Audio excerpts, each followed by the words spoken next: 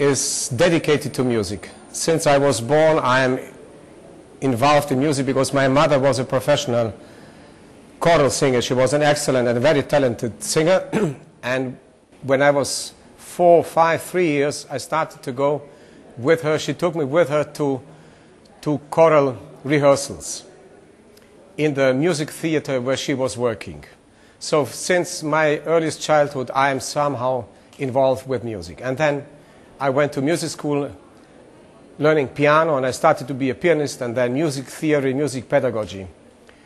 And I discovered when I was 20, I discovered the voice as the instrument and the thing for my life.